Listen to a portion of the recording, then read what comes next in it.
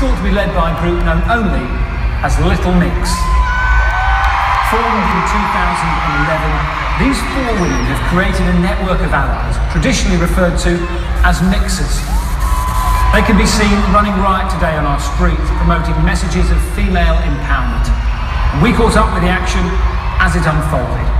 Please be aware, what you're about to see may be too much for some of you to handle. You have been warned.